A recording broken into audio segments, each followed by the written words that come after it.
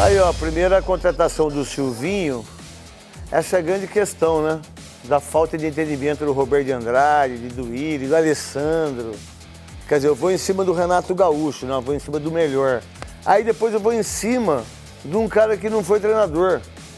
Foi só um treinador em um, um time, ficou três jogos, ganhou três jogos.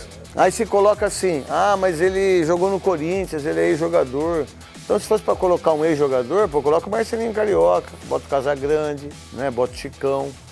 Aí você vai com o Silvinho, mas ele é o Silvinho é porque ele é treinador ou é porque ele é amigo do Roberto de Andrade do Alessandro? E do Dudu Gaspar? Esse é o grande problema do Corinthians, sacou? Você vai em cima do Renato, que tá para ir para a seleção brasileira, para o Flamengo. Aí depois não, aí não dá o Renato, aí você toma não do Renato, toma não do Aguirre, que é um treinador meia colher. Aí você pega e traz o Silvinho para disputar um campeonato brasileiro que você não pode mandar o treinador embora. Não, pode um só, mas ele pode fazer o acordo. Né? Não foi mandado embora, ele pediu demissão. Entendeu? É, eu não quero criticar o Silvinho, acho que a gente tem que dar tempo para ele. A única coisa que eu acho que tem que fazer é isso.